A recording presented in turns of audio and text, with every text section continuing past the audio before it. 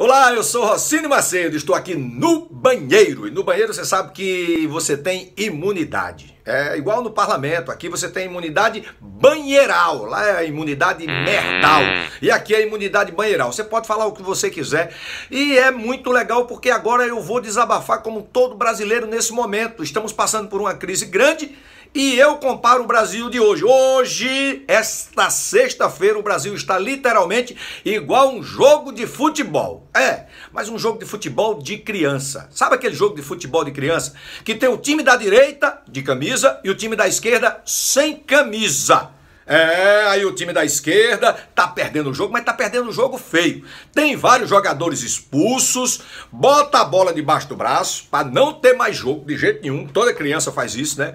Hackeou uma conversa do juiz com os bandeirinhas, não aceita o VAR, não aceita que o jogo recomece sem seus jogadores que foram expulsos por cometerem irregularidades. E ainda bota a torcida para invadir o campo.